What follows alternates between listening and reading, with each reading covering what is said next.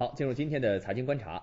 混搭这个词儿啊，经常用来是指服装搭配，而现如今呢，在艺术领域也开始流行起了混搭。您想想，如果把京剧、评书、相声、话剧，甚至舞蹈一股脑的全部打包给您的话，那会是一种什么样的这种视听效果呢？最近啊，就有人把相声跟京剧、评书玩了一把混搭，咱们一块儿去看看吧。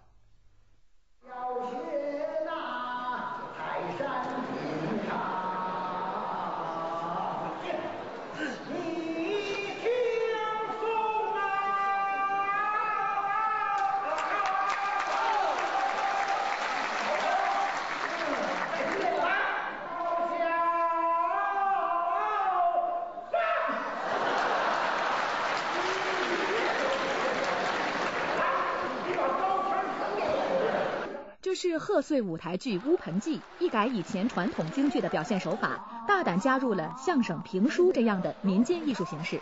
在现场，您不仅能听到马志明带来的传统相声段子，还能一睹评书大师单田芳的风采。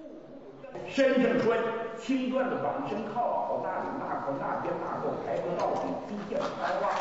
上去万事不到头。先有相声热场，再有评书讲解。随后的京剧又与相声、评书交相呼应，整场演出可谓是一气呵成。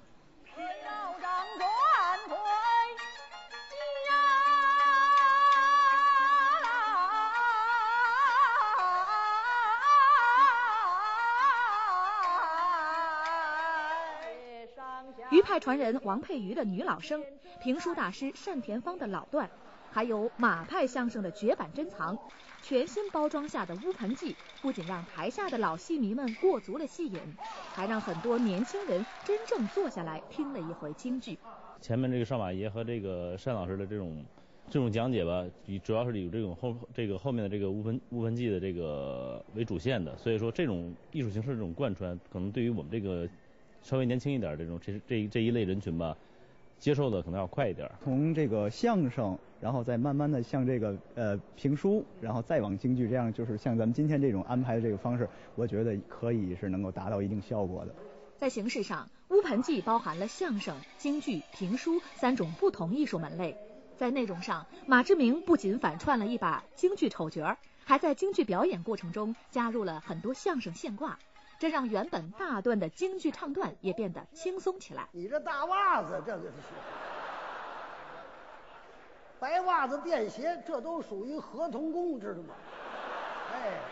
山寨版的衙役，这个角色就可以加，但是不能太过，维持原戏的这个整体性，然后可以适当的加来调侃一下。增加一点这个效果，尽量让它现代点的词儿，要不然有些个京剧的词儿比较古老，比较费解，文学性强一点，但是人家孩子们有时候听不懂。三种古老传统的艺术，京剧、相声、评书，有机的结合在一起，形成一个晚会，这样我看还是有好处的。尤其你看，我介绍介绍什么叫五盆鸡。这个是主要不是给戏迷介绍的，主要是给一些青年人通过评书呢，有声有色的一介绍，哦，他明白这剧是什么了。我觉着这种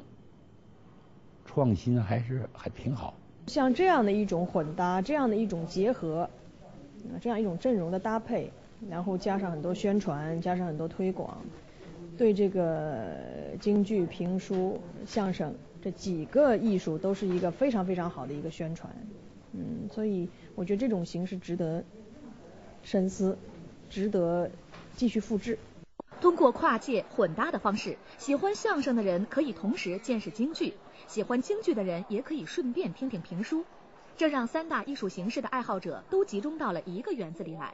无形中观众群就扩大了很多。而且严格按照传统收发布置的舞台，也可以让人们领略到原汁原味的传统艺术之美。我想就是一拉幕，大家就感觉恍如隔世，就是有一种这种体验，是时空的这种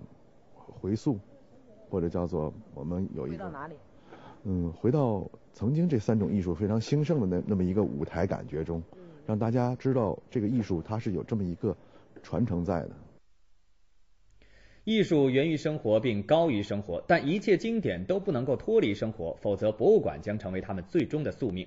如何让现代人，特别是现在的年轻人接受并喜爱传统艺术，是一个长时间困扰业界的问题。以混搭形式出现的乌盆记，仿佛让我们看到了解决问题的又一个新方向。